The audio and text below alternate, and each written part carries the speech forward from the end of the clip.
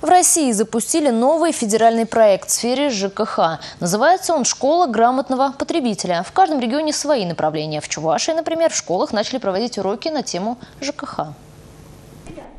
В школе грамотного потребителя учитывают возраст аудитории. Пусть пока ребята далеки от темы тарифов, ценовой политики, работы управляющих компаний ТСЖ, но разбираться во всем этом придется. И лучше пораньше. Так для дошкольников готовится к выпуску серии тематических раскрасок на жилищную тематику и сказок про сантехника-супергероя. А для школьников находятся темы посерьезнее. В будущем наших детей видим как собственников, которые с детства уже должны понимать своей взрослой жизни идти подготовленными именно в сфере ЖКХ. Я думаю, даже с первого класса уже детей нужно знакомить э, с вопросами ЖКХ, потребления, правила экономии, чтобы потом на самом деле ко взрослой жизни ребенок всесторонне был готов к этому.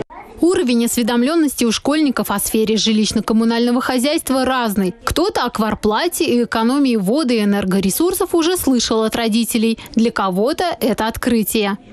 Что-то новое узнала сегодня. Что надо экономить воду, электроэнергию и не рисовать на стенах. Ты раньше этого не знала?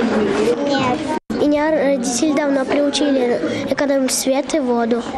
В настоящее время рабочая группа, в которую входят координаторы федерального проекта «Школа грамотного потребителя», жилищно-коммунальные инспекторы, представители Министерства строительства, Министерства образования посещают открытые уроки. В перспективе будет разработана специальная методическая программа обучения детей по этой весьма актуальной теме. Такие занятия со временем планируется ввести во всех российских школах. Все в подъезде берегите, не шумите, не сорите.